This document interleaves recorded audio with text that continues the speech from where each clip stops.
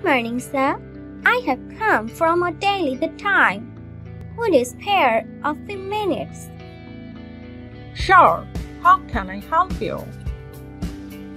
I want to discuss with you about the recent price hike.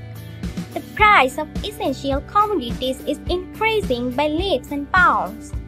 As a result, the suffering of the people of low-income group has gone beyond the control. You are right. We are also conscious of the torment of the people.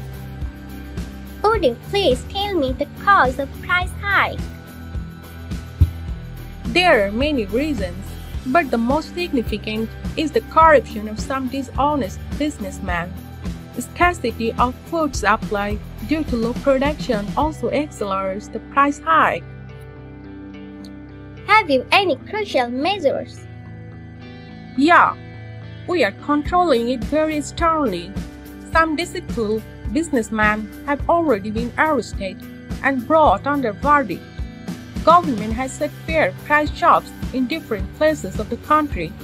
Moreover, we are going to import a huge amount of food grains. Do you think you will be able to reduce the price hike?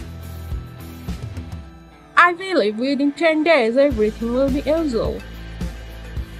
Thank you very much. You are most welcome.